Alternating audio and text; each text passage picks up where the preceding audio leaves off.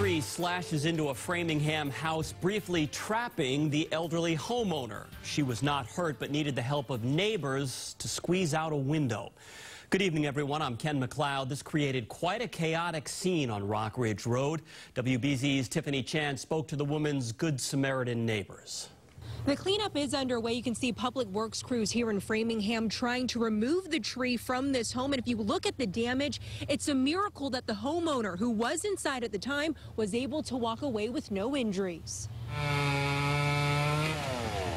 The loud crash sent neighbors running down Rockridge Road. And I knew that some other guys were racing up the street to also get at the house. That's how loud it was. Really, it was just like a, a it was just like a train coming through.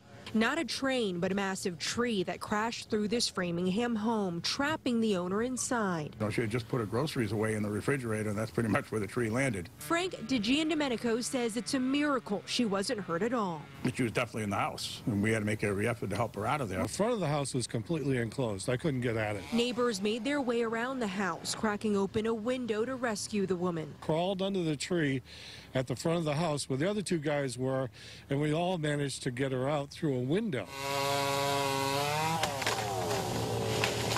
Public Works crews spent hours trimming the branches, preparing to remove the tree from the home.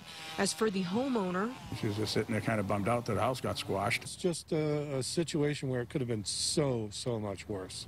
the damage is so extensive we're being told that no one can stay inside of the home. The woman here staying with a relative. In Framingham, I'm Tiffany Chan for WBZ News.